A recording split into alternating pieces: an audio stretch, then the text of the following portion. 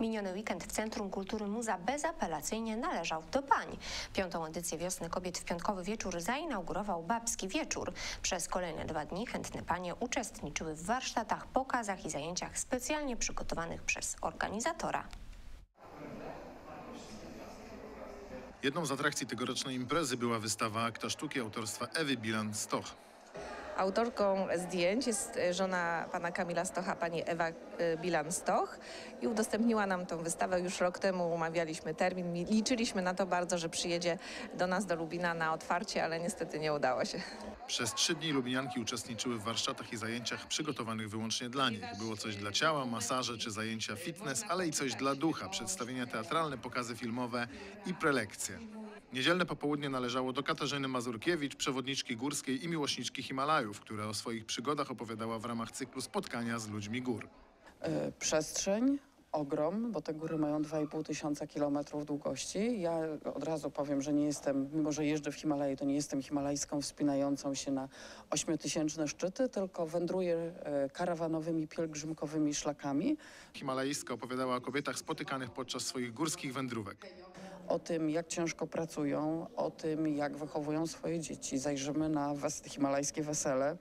E, Opowiem o e, ludziach, którzy przyjeżdżają Him- w Himalaje do pracy, budować drogi i wśród nich jest bardzo wiele kobiet. To jest praca, której my sobie nie jesteśmy w stanie w ogóle wyobrazić, jak ciężko one pracują, w jak ciężkich warunkach mieszkają. Wiosna kobiet w lubińskiej muzie odbyła się już po raz piąty i z całą pewnością nie ostatni, bo impreza cieszyła się dużym zainteresowaniem pań. Sobotni wieczór Legniczanki spędziły w towarzystwie znanego z serialu M jak miłość aktora Roberta Moskwy. Gość zaprezentował wykład pod tajemniczym tytułem Dziwna ona, dziwny on. W otwartym spotkaniu zorganizowanym z okazji ubiegłotygodniowego Święta Pań udział wzięła ponad setka legniczanek. Chyba żadna z nich nie spodziewała się, o czym opowiadał będzie popularny z serialu M jak miłość aktor Robert Moskwa. Bo akurat to, że mózg kobiety jest mniejszy o 10%, to może być, wie pan, oczywiście mm, jakąś radością dla faceta, ha, jestem lepszy, ale może być też dla niego wielkim smutkiem. Smutkiem? A dlaczego smutkiem? Bo generalnie jakby tak prześledzić ewolucję mm, gatunku ludzkiego na przestrzeni, nie wiem, miliona lat, powiedzmy sobie, to mózg się staje coraz mniejszy, mniejszy, mniejszy, mniejszy, mniejszy i mniejszy. Jest to objawy, wie pan, e, postępu cywilizacyjnego, e, e, postępu ewolucyjnego, więc z tego punktu widzenia kobieta jest na wyższym stopniu ewolucji niż mężczyzna. Taki wniosek też można wysnuć. Zostawmy jednak cały ten ewolucyjny postęp i zajmijmy się rozstrzygnięciem innego, poważniejszego zagadnienia. Kobiety są z Wenus, a mężczyźni z Marsa. Zdania w sprawie tej kosmicznej skądinąd tezy są mocno podzielone. Kobiety, kobiety i mężczyźni są na ziemi, tak? Yy, Ja osobiście czytałem zresztą tę książkę kiedyś, bardzo dawno temu, Wielki Hicior. Yy, Mi się to nie podoba, bo to znaczy, że jesteśmy z dwóch różnych światów, a jesteśmy w tym samym świecie. Pozwolę się z panem e, Robertem Osłą nie zgodzić, no ale być może przekona mnie jego wykład. Kobiety y, według mojej oceny chodzą twardo po ziemi, więc są po prostu z ziemi.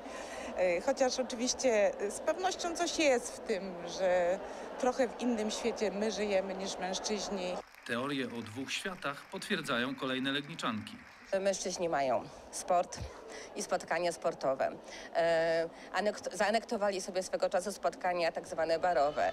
E, kobiety mają spotkania tylko przy, na placach zabaw, i, a niestety e, to, to nam nie wystarcza. Także chcemy jak najwięcej tych pól męskich podebrać, ale nie tylko dla siebie, tylko żeby razem z nimi wspólnie te pola zajmować i dobrze się bawić. I tutaj pełna zgoda, żeby tak razem, w porozumieniu i radośnie, ku chwale przyszłych pokoleń, bo O, ani kobiety bez mężczyzn nie potrafiłyby żyć, ani mężczyźni bez kobiet, więc y, jeśli ten świat został tak stworzony, że dwie płcie y, na, na, na ziemi funkcjonują, to znaczy, że tak powinno być i powinny się wzajemnie uzupełniać. w tej sytuacji nie pozostało nic innego, jak tylko pod słowami pani prezydent podpisać się w imieniu męskiej części populacji. I jeszcze jedno. Wcale nie jesteśmy z Marsa. Impreza pod nazwą Noc Słów to właściwie nie jedna noc, a trzy dni, podczas których odbywają się zajęcia, warsztaty, pokazy i prelekcje. Wspólnym mianownikiem wszystkich tych wydarzeń jest ptak, uznawany często za symbol mądrości. Imprezę po raz pierwszy zorganizowało Centrum Edukacji Przyrodniczej. Podobne wydarzenia w ten weekend odbyły się w całym kraju. Ogólnopolską akcję już po raz czwarty przygotowało Stowarzyszenie Ptaki Polskie. Konkretnie dziś rozpoczęliśmy już e, pokazy sów. Przyjechały do nas e, płomykówka, lilka i zbyszek, który jest puchaczem.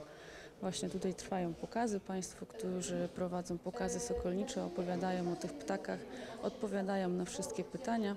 Niewątpliwą atrakcją był pokaz puchacza i płomykówki. Podczas prelekcji można było zobaczyć ptaki w locie. Przyjechaliśmy z pomykówką i z puchaczem, żeby zaprezentować ludziom te piękne sowy i żeby dowiedzieli się jak najwięcej o tych majestatycznych zwierzętach. Zbysio jest to przedstawiciel największej sowy żyjącej w Polsce, czyli puchacza. Yy, Zbyszek robi, robi wrażenie przede wszystkim wielkimi, ogromnymi pomarańczowo-czerwonymi oczami. Yy, Płomykówka jest to najpiękniejsza sowa ze szlarą w kształcie serca, bardzo charakterystyczna, którą zresztą pewnie będzie słychać w tle. Yy, Są to ptaki, które latają przede wszystkim przy dzieciach, przy ludziach, przylatują na rękawice. Podczas serii spotkań i prelekcji uczestnicy mogli dowiedzieć się wielu ciekawostek na temat życia tych ptaków. Po lewej stronie występują puszczyki. Są to sowy, które e, są najczystszymi i występującymi sowami w Polsce e, w liczbie 65 do 75 tysięcy gatunków. E, po środku natomiast występują puszczyki uralskie. Są to dosyć rzadkie sowy występujące w Polsce, głównie na wschodzie i w Bieszczadach. Tam możemy je spotkać. Natomiast po prawej stronie puchacze, największe sowy występujące na świecie. E, Dzisiaj akurat e, zapraszamy wszystkich serdecznie, żeby zobaczyć, e, jak te puchacze wyglądają na wolności, można powiedzieć, jak one, jak one latają. Dzisiaj będą właśnie pokazy sokolnicze. Jak zapowiadają pracownicy Centrum Edukacji Przyrodniczej, imprezy z sowami w roli głównej będą się odbywać częściej. Kolejne nocne nawoływanie sów ma się odbyć w Lublińskim Parku Leśnym. To już wszystkie wydarzenia na dzisiaj. Dziękuję Państwu za uwagę i do zobaczenia.